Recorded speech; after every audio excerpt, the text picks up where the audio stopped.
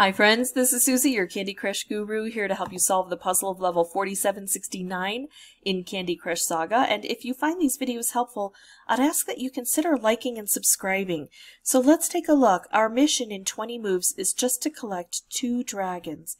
Here's one, and here's the other. And we've got, oh, we've got two different collection spots. This one presumably will be collected here and this one collected here. But we have to get through this frosting first, I think, in order for these portals to work. That's my assumption unless I find out otherwise. And I see I've got stripes to help me with dispensers, but I've got toffee in the way. So I think I see this as fairly straightforward. Not necessarily easy, but easy to understand what I'm supposed to do. I need to get to the edges, use these, set these off, clear this out. I mean, sure, I could make a stripe that heads upward and downward and, and helps in a different way, but that's probably not going to be how the majority of these things are cleared.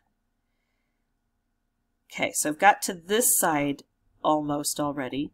Here I'm using a stripe in that fashion I mentioned, trying to clear this out. Now, oh, let's see. I'm going to go for this stripe because it can be helpful. I could take it out, but I'm going to do this. If I can clear out any of these, I don't have to focus on the top. And here's the reason. These all fall down. They're affected by gravity. And so if I can just get one of them done, then we get that whole opportunity to see this come through. I could do this and make a wrapped and set off a stripe. That's not a bad idea. I think I'm going to do this instead and try to clear this out. Okay, so now I've got things going. I can make a stripe here. I can do this. I want to set these off. I'm going to go with a stripe because this, or a wrapped because a wrapped is volatile and it can create good things for us. So now we're starting to see these things flow. Took a while to get to this point but we're starting to see it. I'm going to try to bring more of the stripes down.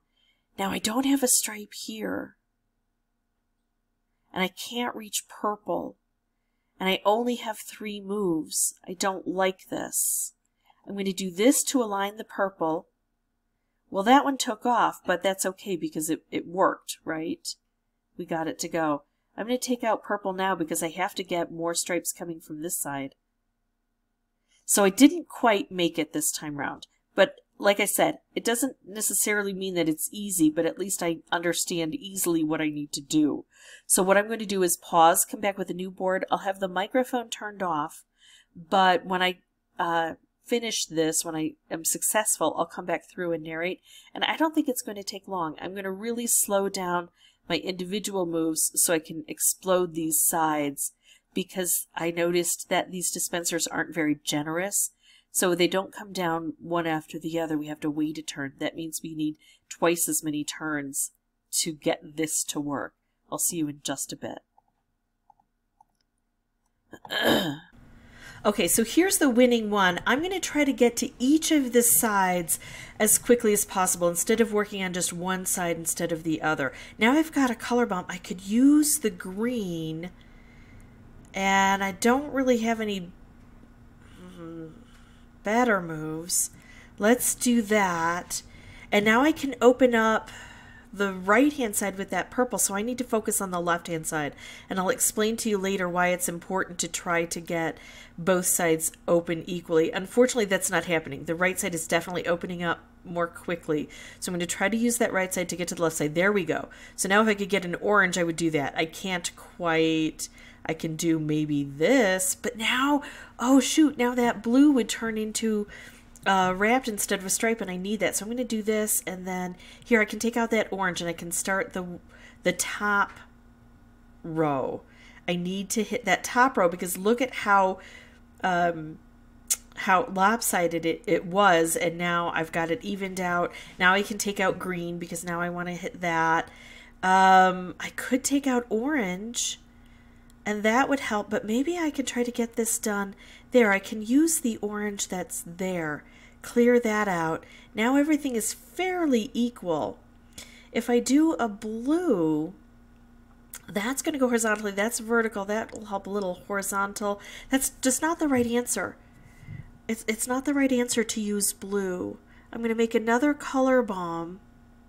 And now if I just take out blue, instead of making the stripe, there, that's cleared. And now I've just got that orange in the way. Um, I, I can just take out green and that'll hit that orange and that'll clear out. So let me explain a little bit about this board. Um, what happens, the problem is that the thickest frosting is on opposite sides of the board. And so even making like stripes and striped wrapped through the center, it gets out those weakest ones, but it doesn't hit that those thickest ones nearly enough.